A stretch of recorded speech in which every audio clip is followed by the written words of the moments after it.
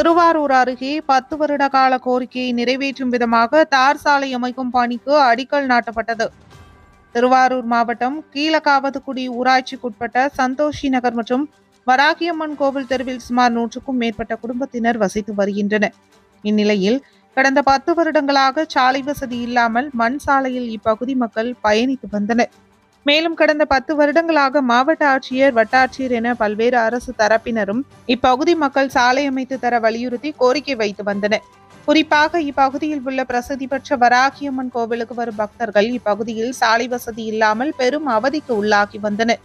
மழைக்காலங்களில் இந்த சாலை மிகவும் சேரும் சகதியுமாக காணப்படுவதால் சந்தோஷியம்மன் மற்றும் வராகியம்மன் கோவில் தெரு பகுதியைச் சேர்ந்த பொதுமக்கள் கடந்த பத்து வருட கோரிக்கையை நிறைவேற்றும் விதமாக தேசிய ஊரக வேலைவாய்ப்பு உறுதி திட்டத்தின் கீழ் எண்ணூறு மீட்டர் தூரத்திற்கு இருபது லட்சம் ரூபாய் மதிப்பில் தார் சாலை அமைக்க அடிக்கல் நாட்டும் நிகழ்ச்சி இன்று நடைபெற்றது. வராகியம்மன் கோவிலுக்கு நடைபெற்ற இந்த நிகழ்ச்சியில் திருவாரூர் ஒன்றிய குழு தலைவர் புலிபலம் தேவா கலந்து கொண்டு அடிக்கல் நாட்டினார். இந்த நிகழ்ச்சியில் கீழக்காவதுக்குடி ஊராட்சி மன்ற தலைவர் ஜெயலட்சுமி கலைக்கோவன் வட்டார வளர்ச்சி அலுவலர் புவனேஸ்வரி ஊராட்சி மன்ற துணைத் தலைவர் ஊராட்சி மன்ற உறுப்பினர்கள் உள்ளிட்ட பலரும் கலந்து கொண்டனர்